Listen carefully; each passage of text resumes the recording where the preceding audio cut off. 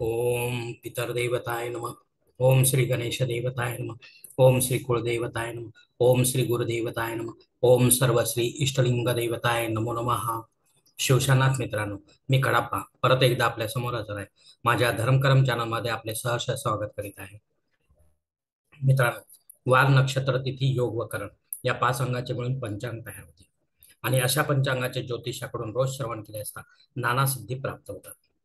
मित्रांनो तिथीच्या श्रवणाने वैभव स्थिर होते. वाराच्या श्रवणाने दीर्घायुष्य प्राप्त होते. नक्षत्राच्या श्रवणाने केलेल्या पापांचा नाश होतो. योगाच्या श्रवणाने वियोग नाश होतो. तर कर्णाच्या श्रवणाने सर्व इच्छा पूर्ण होतात मित्रांनो. असे आपले धर्मशास्त्र सांगते. पण यासाठी आपली वास्तू वास्तुशास्त्रानुसार असावी. देवघर योग्य दिशेला असावे. येथे योग्य देवघर असावे. देवघरात योग्य देवता असाव्यात प्रमुख तथा आवश्यक अशा देवता असाव्यात प्रातः काळात कुटुंब प्रमुखाकडून विधी विधिवत संकल्प सोडून अभिषेकयुक्त पूजा संपन्न व्हावी. तसेच पूजाकर्त्याची अंतर्बाह्य व कर्मशुद्धी असायला हवी. कुटुंबातील इतर सदस्यांच्या बाबतीत देखील अशीच कर्मशुद्धी असायला हवी. तरच आपण नाना सिद्धी प्राप्त करण्याला पात्र ठरतो असे माझे स्पष्ट मत आहे मित्र. मित्रांनो आता पंचांग उद्याचे मी आपणास सांगत आहे त्याचे आपण शांतपणे श्रवण करावे. आणि असे पंचांग आपल्या विविध धार्मिक कर्मकांडात उपयोगात आणावे मित्रांनो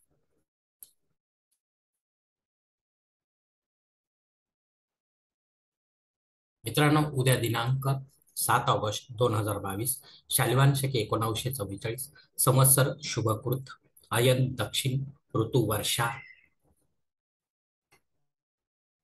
मास श्रावण पक्ष शुक्ल वार रविवार नक्षत्र अनुराधा मित्रांनो. सायंकाळी चार वाजून तीस मिनिटानंतर ज्येष्ठा नक्षत्राला सुरुवात होईल. योग मित्रांनो ब्रह्मा योग आहे. सकाळी दहा वाजून दोन मिनिटानंतर ऐंद्र योगाला सुरुवात होईल करण मित्रांनो तैत्री करण आहे. दुपारी एक वाजून सहा मिनिटानंतर गरज करण्याला सुरुवात होईल आणि रात्री अकरा वाजून एकावन्न मिनिटानंतर वनिज करण्याला सुरुवात होईल. तिथी मित्रांनो उद्याची दशमी तिथी आहे. रात्री अकरा वाजून एकावन्न मिनिटानंतर एकादशी तिथीला सुरुवात होईल मित्रांनो.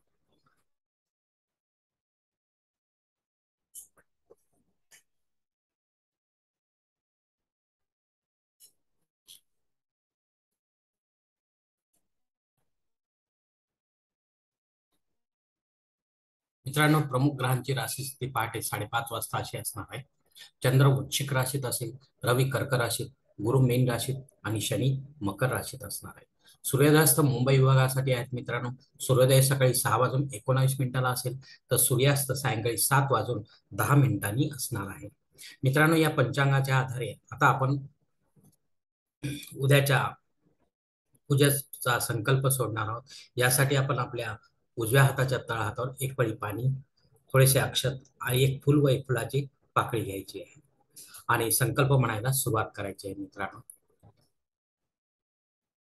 हर ओम शिव शिव शंभो रात्नय प्रवर्तमान सद्य ब्रह्मण द्वितीपराधे श्वेतवराह कल्पे.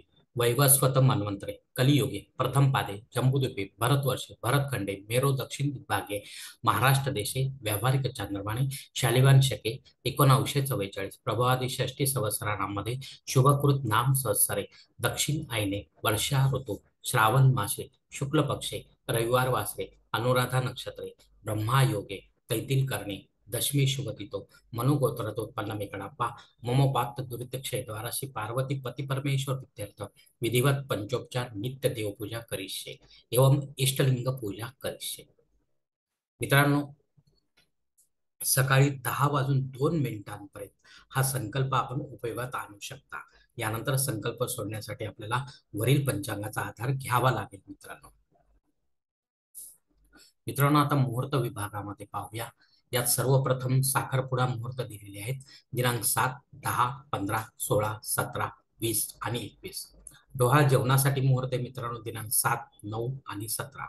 बारसे करण्यासाठी मुहूर्त मित्रांनो दिनांक सात दहा तेरा सोळा आणि एकवीस. जावळ काढण्यासाठी मुहूर्त मित्रांनो दिनांक अकरा सतरा आणि एकवीस. ग्रह प्रवेशासाठी मुहूर्त मित्रांनो दिनांक सात नऊ दहा तेरा सतरा आणि एकवीस. मित्रांनो उपनयन करण्यासाठी मात्र मुहूर्त आता नाहीत. विवाह करण्यासाठी मुहूर्त नाहीत मित्रांनो.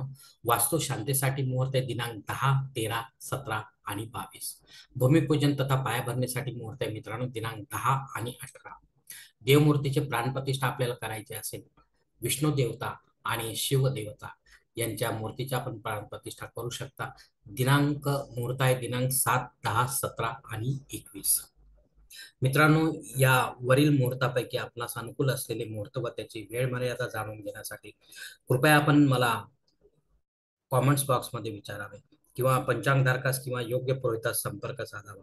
मगच मुहूर्ताची तारीख निश्चित करावी मित्रांनो.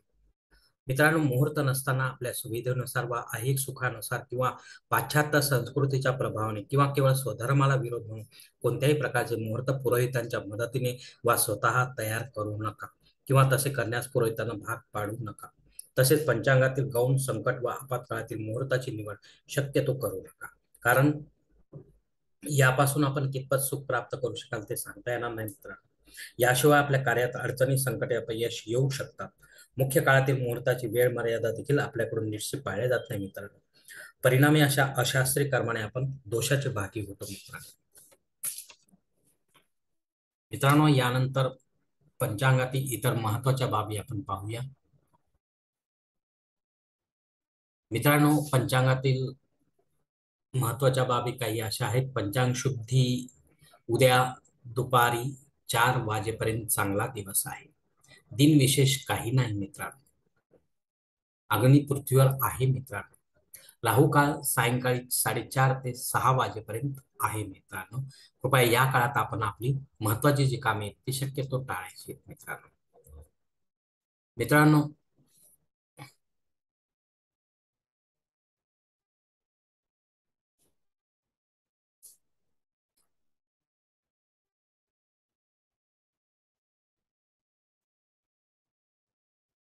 संकल्प सोडून केलेले कोणतेही धार्मिक विधिवत कर्मकांड संबंधित पूजने देवतेपर्यंत लवकर पोहोचते आणि पूजेचे फळ पूजा करताच प्राप्त होते. आपल्या नावे पुण्य जमा होते मित्रांनो. कारण अशा धार्मिक कर्मकांडाच्या करता कर्मिता आपणच असतो. लक्षात ठेवा मित्रांनो शेवटी आपणच आहोत आपल्या जीवनाचे शिल्पकार. धन्यवाद मित्रांनो. आजचा हा पंचांगाचा व्हिडिओ मी येथे संपत आहे.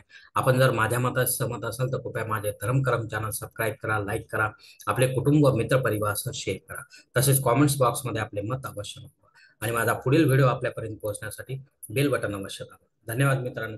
पुढील भेटीपर्यंत आपण खुश राहा आनंदी राहा प्रसन्न राहा. शिवकल्याण हरिओम शिवा. महादेव.